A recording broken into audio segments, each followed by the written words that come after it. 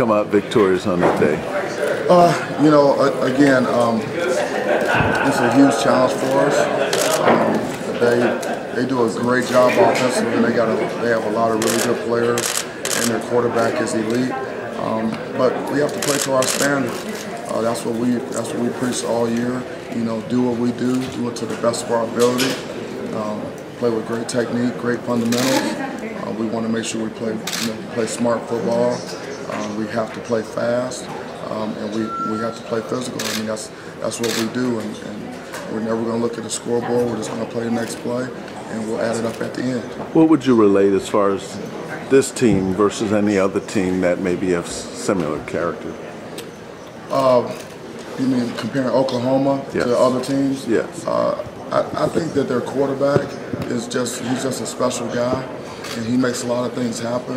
Uh, he's an elite competitor. He reminds me of Brett Favre um, in a lot of ways because he can make all the throws. He plays with tremendous toughness, and he can improvise, um, put a lot of pressure on, on your defense and um, he creates big plays uh, for them.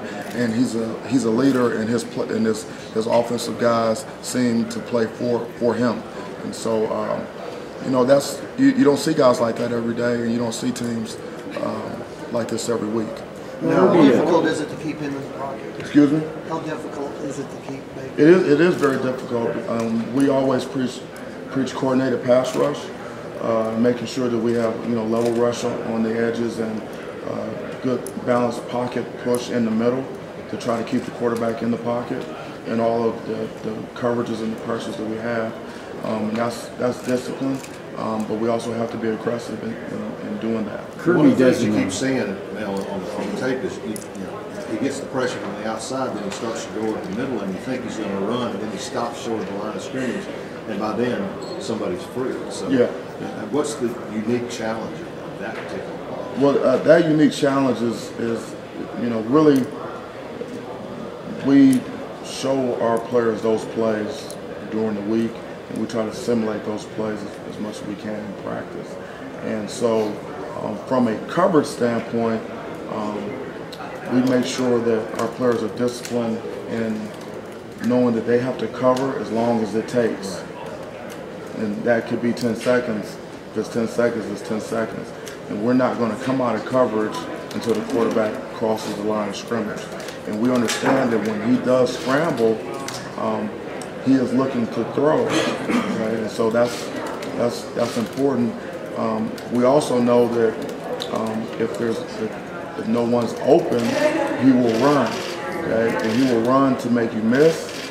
Um, he will run to try to run you over, and he'll also slide.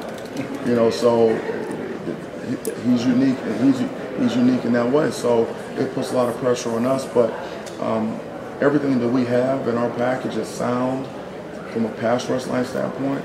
Everything we have in our coverage uh, package is sound. Why is he so hard to get to the ground once he gets out? Because he's strong. Yeah. He's strong and he's tough, and he's a he's a um, he's a high level uh, competitor. Uh, his competitive toughness his CT score is, off the charts. Know, uh, Kirby doesn't hide the fact that he's a micromanager. You know, he's obviously he's talking to people when they come off the field, on the field, uh, but he's very um, seems deliberate about saying this, this is not my defense. This is Mel Tucker's defense. Can you just talk about that dynamic of working with a defensive coordinator? Obviously, you came with him from Alabama, and whatever latitudes he gives you in terms of, of running that defense. Yeah, I mean, I've worked with. Uh, defensive head coaches before, and so um, I, I, really I really enjoy that because when you work um, with a head coach that understands defenses and understands understands the challenges that you have as a coordinator, I, th I think it helps, and I think it's always good to have an extra set of eyes. Um, you know, in the NFL, there's uh, uh, you can have as many coaches on your staff as you want, and so the, the, the full-time staff guys they're usually huge, and so really the student to uh, the student to teacher ratio is is is is favorable in the NFL. Well, in the college game, um, you know, there's a limited amount of full-time coaches that you can have, and so we need as many uh, expert eyes, you know, on our players uh, as we can get. And so for Kirby to be hands-on, I welcome that. You know, we- we've got a, we've got a lot of players.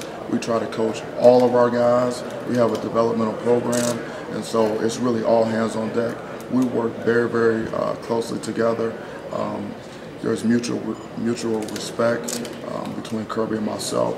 Um, you know, I just really, I just really enjoy being around him as a person, and I think, I think that also carries over to our staff. Um, we have tremendous chemistry on our staff. Everyone works together. Again, it's shared responsibility, and if you have a tight knit staff that works together, is always on the same page, um, then that that translates to you, that that translates to, to the players, and so um, I think that's that's one of the advantages that we have. Um, This is Gary G with the Inland Valley News reporting.